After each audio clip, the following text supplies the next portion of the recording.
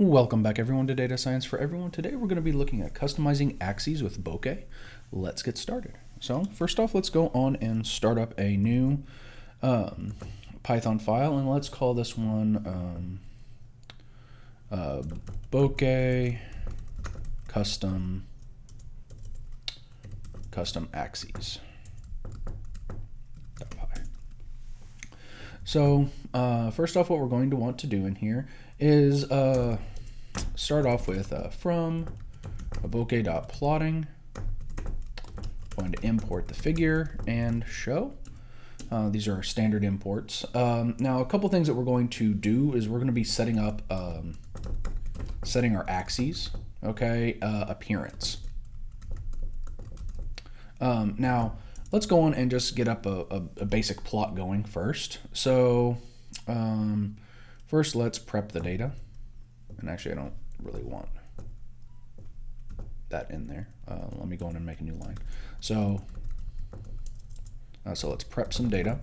So x, again, is going to be something like uh, 1, 2, 3, 4, 5. Uh, y here is going to be something like uh, 2, uh, 4, 6, 3, two. Um, and then let's go on and create a basic plot. Uh, so P here is going to be figure. And uh, what do we want in here? Uh, let's go in and create a title. And this will be something like uh, uh, custom axes. Then we also want in here, we'll do our size mode mode here, we'll do stretch, width, and then uh, we'll have our uh, max width in here. We want to control the width, and let's say that we want it to be maybe something like 600. And then let's say our plot height here is going to be something like, um, I don't know, 350.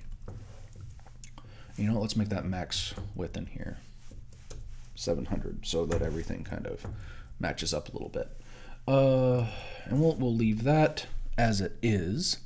And then let's go on and actually um, create up our renderer.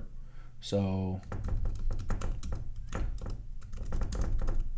uh, so add our circle renderer p dot uh, circle uh, x, y, uh, size here is, let's just have 15. Um, and then let's go on and show this. So then you can see what our basic plot is.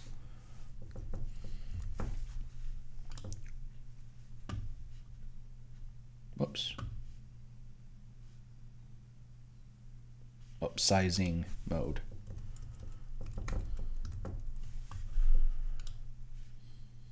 Okay, so you can see our basic size. Um, and again, it will auto fit um, just to uh, the maximum width here of our 700 pixels. Um, and I'll, let me go in and zoom this in so we'll start to see when we start customizing some things. Okay, whoops. So first off, let's go on and right below the circle renderer is where we're going to start adding in uh, some change the X axis. We're gonna we're gonna start messing with it a little bit. So p dot uh, x axis uh, dot axis label here, and that says I'm the x axis. Okay. Uh, and then we can do something like um, we can change the line width p dot x axis dot axis uh, line width here and we'll make it, usually it's one, so let's make it four. Something we'll make it nice and big. P dot X axis um, dot X dot axis line uh, uh, line and let's do color in here and let's make it red. Okay, so that we can actually change that. So let's run this so you can see what happens. So notice here what happens is we added in Oh, and you can, again, let me toggle that off so I don't accidentally touch things. So you can see here our, our name. I am the uh, x-axis changed here. We added in this red line. Okay, so we and we made it a little bit thicker. So again, you, you can see here what the standard uh, sizes in here. Um, and then we also went on and uh, again, so a couple, we, had, we did three things. We also changed that line width. So you can see here that, whoops, that this line is nice and thin. Here we made it nice and it's, I wouldn't call it nice and thick. I think it's actually looks terrible. Um, but we can also see here that it is also red. So we changed those um, three attributes. Let's go on and do something uh, also with, um, with our y-axis. Okay, so let's go on and change the y axis as well. Uh, and let's see, what do we want to change with it? Let's do p dot dot y axis dot axis uh, label, uh, and I'm going to say ah I'm the y-axis. Uh, and then let's do something like p dot y-axis dot uh, what major label text color. And let's make this um, something bright. So orange. Okay? And we'll do something like p dot y axis dot uh, major label orientation. And so instead of that horizontal, we're going to make it uh, vertical. So let's go on and see what we happen. So again, three things are going to change here. One, text color is going to change. And again, so if we wanted to change any of these other types of attributes, this would just change to y-axis here okay? But I'm just going to show you some other things. So axis label, uh, I'm a y-axis.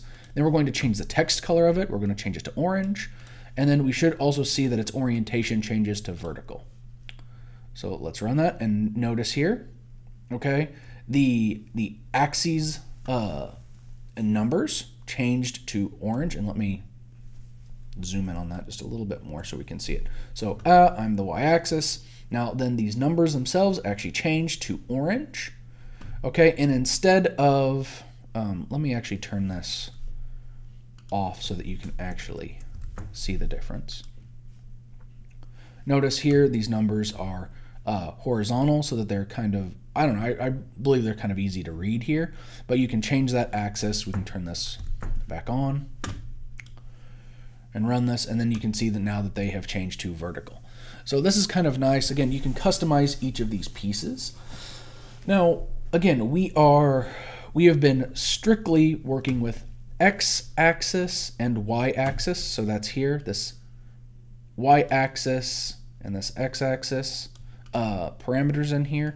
But what we would want to do if we want to change both uh, axes. Okay, so we can do something like this: is p dot axis dot minor. Okay, and then we'll do something like a tick in is going to be negative 2. P dot axis. So again, if you want both axes, you just type axis. Otherwise, you give them their attributes of y-axis or uh, x-axis. Uh, and we'll do minor tick out. Here is going to be yeah, five. We'll show what happens here. So again, you can see here that the sizing uh, changes. You can actually see that they um, even separated out just a little bit as well. So this is kind of nice to be able to optimize how your ticks um, look as well. And we can always mess with them um, quite a bit um, later on. Now let's move on to uh, maybe defining our axis ranges. So uh, let's let's actually go through and let's actually create up a new. Um, I want to create up a new file in here. So let's do um, bokeh custom axes 2.py. because um, because this one I want I want I want a little bit things to look just a little bit different. Um, and I'll close that one. So let's again import our standards from uh, bokeh dot plotting. Uh, we want to import figure and we want to import show. And let's also put in uh, x here, one, two, three, four, five. Uh, y here is going to be uh, something like two, three, four, three, uh, five. And then uh, let's go in and create a figure. So p is equal to figure, and then we want our y range. So here we're actually going to strictly define our range. Okay, so um, here we want this to be, and again, this takes in this takes in a tuple. Okay, uh, so we want it from zero to 25. Okay, and then again here our title here is going to be uh, axis range. Uh, and then we'll also do something like um, our sizing mode here. We're going to stick it to stretch width. Uh, and then we'll also do something like our max width here is going to be 800. And then our plot height here is going to be 250. So let's go on and add in our circles. So p dot circle x y uh, size here is going to be 10. Um, and then we'll do p dot show. Oh, show p. Sorry.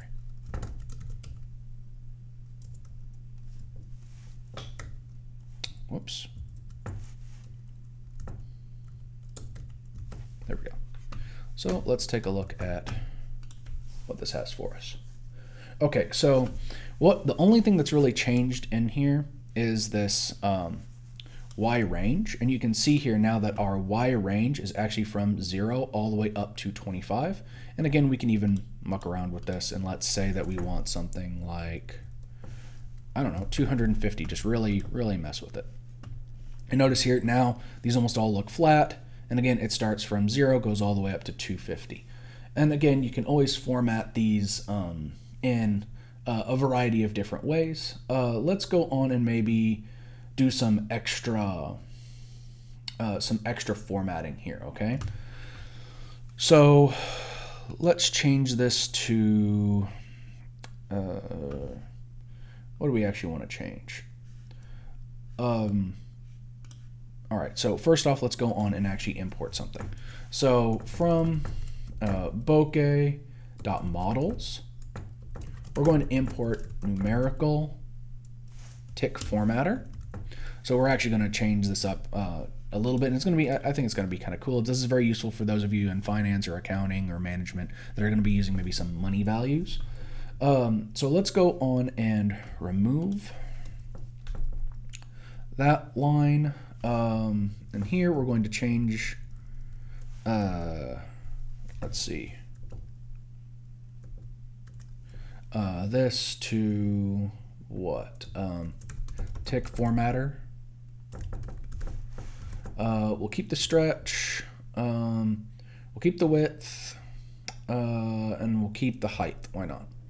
Um, and then let's go on and do, uh, we're here, we're going to format our axes ticks.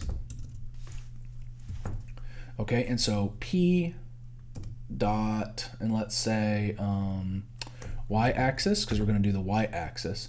Now we want to grab that first item in there, and we're going to do dot formatter. And here we're going to do numerical format tick formatter. And inside of here, we're going to do something like a general format. So format uh, is going to be, and we want this some sort of dollar sign, followed by a number, followed by uh, two more numbers. So again, this would be uh, numbers and uh, dollars and cents. Okay, um, and we're going to add in our glyphs. Um, and here we want circles, size I want to make these a little bit smaller. Let's, um, what, what would we want here? Let's say we want this to be five. And then P dot line uh, in here, X, Y, uh, color here is going to be red, uh, line, width here is going to be one. We want it nice and thin. So let's take a look and see how this looks. So we can see here now that we have our uh, numerical values. We have everything going from $2 all the way up to uh, $5. Uh, and again, it goes, again, we see these nice uh, red lines and everything, but what we really wanted to look at here was the formatting of our y-axis. So you can see here how nice it actually formatted everything. Um, again, it gives us this nice uh, kind of dollars and cents values, and again, it's going up by 50s here. Again, you can change that as well, but this is also very nice and easy to read, and also helps your um, your reader or the people looking at it kind of uh, understand that oh this is a, this is about money in here. These are money values. And again I don't know maybe these are um, I don't know maybe you would later on maybe have product names here instead uh, for these values. Uh, so let's go on and do maybe one or two more examples in here. Um, and you know what actually I'm going to actually we're going to end it here this is going to be with the end we'll end with the tick formatter if you guys like this, please comment, subscribe, and hit that like button, and I will see you guys next time. Bye bye.